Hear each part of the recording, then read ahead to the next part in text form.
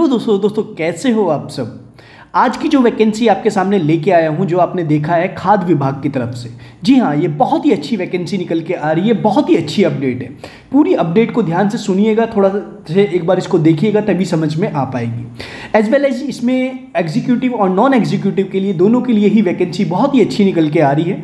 कैसे कैसे आपको इसमें फॉर्म अप्लाई करना है, करना चाहिए या नहीं करना चाहिए, आगे इसमें बढ़ना चाहिए या नहीं बढ़ना चाहिए, सभी के बारे में बात करेंगे, बिल्कुल तसल्ली से बात करेंगे।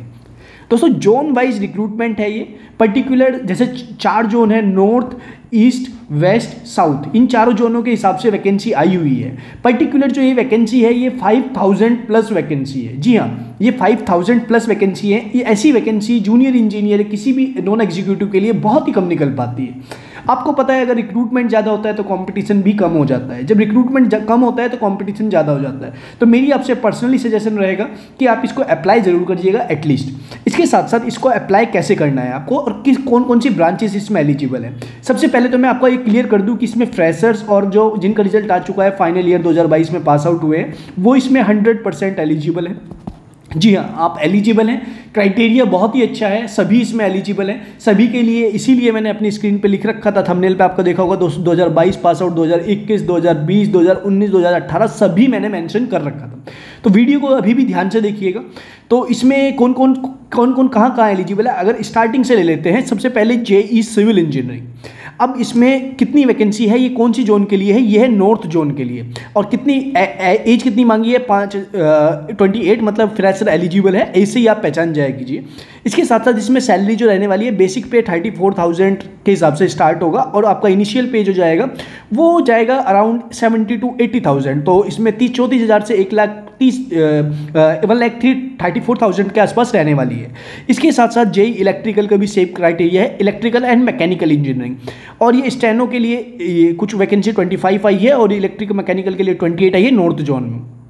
अगर आप देखेंगे general accounts technical depot Hindi तो इसमें इनडायरेक्टली जो है एलिजिबिलिटी है डिप्लोमा बीटेक और एनी ग्रेजुएट की।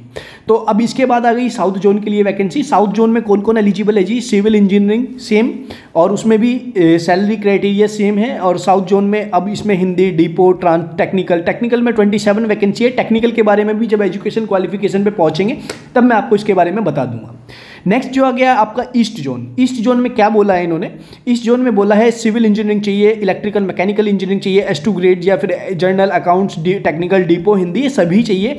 और एज कितना मैक्सिमम एज कितनी मांगी है? ट्वेंटी एट है, वही ट्वेंटी सेवन और ट्वेंटी एट के बीच में जी।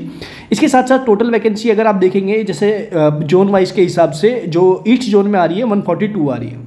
अगर वेस्ट जोन में देखेंगे तो नो, वेस्ट जोन में जो वैकेंसी निकल के आ रही है जी, वो आ रही है, वो सिविल इंजीनियरिंग, इलेक्ट्रिकल वालों के लिए वही ट्वेंटी टोटल वैकेंसी नंबर आप देखेंगे पाँच एज में पूरा का पूरा मैंशन कर दिया है। ऐसे ही नॉर्थ ईस्ट जोन में भी कुछ वैकेंसी निकल के आ रही है। आप इनको अप्लाई कर सकते हैं। इसके साथ साथ कुछ और भी देखेंगे। आपने जेई जेई के लिए बहुत ही अच्छी वैकेंसी है। अब इनके टर्म्स पढ़ लेते हैं और ये कब से कब तक एम्प्लॉयमेंट न्यूज़पेपर में आया है, जो कि है employment news dot G O V dot in पे।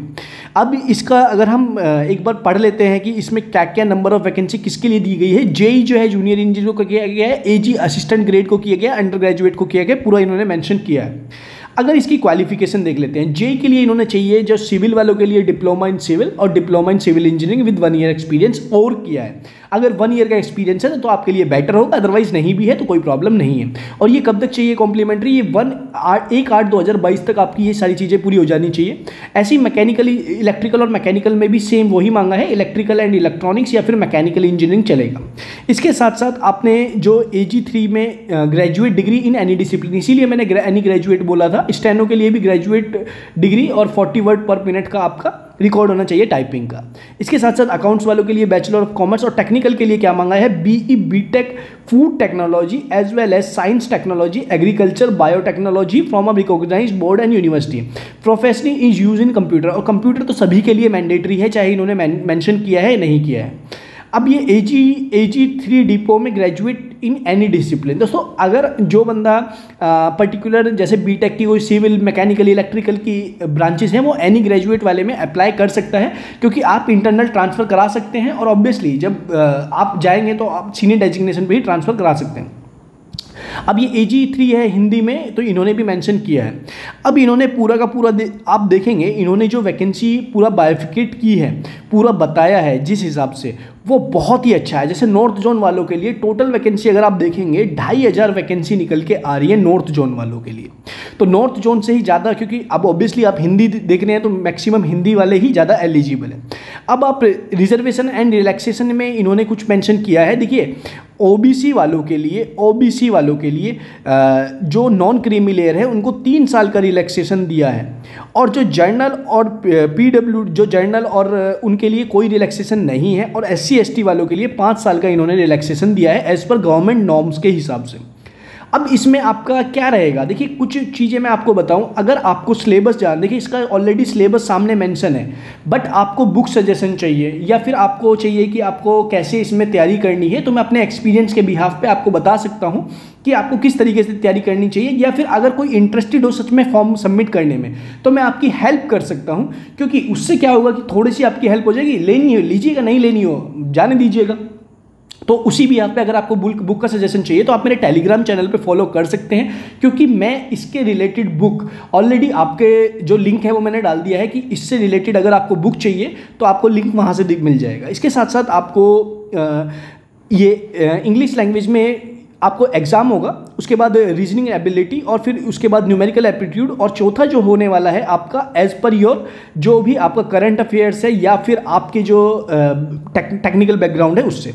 अब ये फ़ेज़ टू का जो एग्जामिनेशन होगा, वो टेक्निकल बैकग्राउंड से रिलेटेड होगा और जो एनी ग्रेजुएट वालों का होगा, वो candidate applying for post D will have appear in paper one तो दोस्तों, इनमें कोई प्रॉब्लम नहीं है, ये आपने टेक्निकल और इन्होंने ऑलरेडी कुछ बुक्स भी सजेस्ट की है। आप देखेंगे, कुछ बुक्स इन्होंने सजेस्ट की है बुक्स नहीं, इन्होंने सिलेबस सजेस्ट सजेस्ट किया है। मैं आपको बुक्स के लिए बोल रहा हूँ। अगर आपको बुक्स चाहिए तो आप कमेंट सेक्शन में टाइप कीजिएगा और प्लस मेरे टेलीग्राम चैनल पर ज्वाइन हो जाइएगा। मैं वहाँ आपको बुक इसका बुक्स का आपको फॉर्मेट या फ्री में जो बुक प्रोवाइड हो सकती हैं, ज़्यादा से ज़्यादा वो प्रोवाइड करने की कोशिश करूँगा। आपकी हेल्प के लिए। मर्ज़ी आपकी है। इसके साथ साथ जो दूसरा पॉइंट है, वो काम के लिए यही रहने वाला है कि candidate if applying in any zone eastern northern और साउथर्न और eastern a candidate can apply for any one of the post दोस्तों, आप एक candidate can apply any one zone दोस्तों, एक कैंडिडेट एक ही जोन के लिए अप्लाई कर सकता है और एक कैंडिडेट सिंगल पोस्ट के लिए ही अप्लाई कर सकता है। दोबारा सुन लीजिए। एक सिंगल कैंडिडेट अगर उसने नॉर्थ जोन से सबमिट कर दिया है तो वो साउथ जोन से उसको अप्लाई नहीं कर सकता है। इसके साथ साथ अगर उसने सिविल के लिए भर दिया है या फिर मैकेनिकल के लिए तो एक ही पोस्ट के लिए वो अप्लाई कर सकता है। इसी के साथ साथ इन्होंने कुछ एग्ज़ाम सेंटर्स भी बताए हैं। सो सेंटर्स के देखिए ऑल इंडिया में हर जगह ही सेंटर होने वाले हैं इनके। कोई प्रॉब्लम वाली बात नहीं है। तो आप देख सकते हैं कि जो भी है ऑल इंडिया में मेरे हिसाब से तो मैंने जो पढ़ा है जितना तो सभी जगह इनके सेंटर मिले ही हैं। अब आप देखेंगे प्रोसीजर ऑफ़ अप्लाइंग ऑनलाइन तो टोटल अप्लाई का प्रोसीजर है, उसका लिंक भी मैं डिस्क्रिप्शन में दे दूँगा। अब कर लेते हैं इसकी फ़ीस की बात तो इसके, इससे पहले शेड्यूल की बात कर लेते हैं, उसके बाद फ़ीस की इसकी बात करेंगे। सबसे पहले अगर हम इसका शेड्यूल देख लेते हैं तो इसका शेड्यूल जो है इसका ऑनलाइन एप्लीकेशन की छः नौ से स्टार्ट होने वाला है और लास्ट डेट इसकी पाँच दस रहने वाली है। तो इसको आप देख सकते हैं और कोई भी प्रॉब्लम होती है तो आप मेरे को बता सकते हैं इसकी अगर फ़ीस की भी बात कर लें तो अप्लाइंग एप्लीकेशन फ़ीस जो रखी है वो फाइव हंड्रेड रुपीज़ रखी है और फाइव हंड्रेड रुपीज़ डायरेक्टली आपको बैंक से पे करनी है और ऐसा नहीं है कि किसी भी S C S T and women candidate for fee application fee दोस्तों, ये from payment of application S C S T P W D and women candidate are expected from payment of application fee दोस्तों आपको fees तो जमा करनी होगी but हो सकता है कि आपकी रीएम्बर्स हो जाए। तो आप देख सकते हैं इसको और इन्होंने कुछ एनेक्चर्स भी दिए हैं। अगर आप इन क्राइटेरिया या फिर इन आ, जो पर्टिकुलर नॉर्म्स एस सी के लिए तो उनको आप देख सकते हैं। इसी के साथ साथ आपको मैं अपना बता दूँ कि अगर आपको इसका बुक का सजेशन चाहिए कौन सी बुक आपको इसके लिए बेस्ट रहेगी तो आप मेरे टेलीग्राम चैनल के साथ जुड़ सकते हैं या मैं आपको डायरेक्ट लिंक बुक का लिंक भी दे दूँगा। तो वीडियो अच्छी लगी तो वीडियो को लाइक ज़रूर करें। चैनल पर नए हैं तो चैनल को सब्सक्राइब करना बिल्कुल ना भूलें। मिलते हैं नेक्स्ट वीडियो में, तब तक के लिए जय हिंद।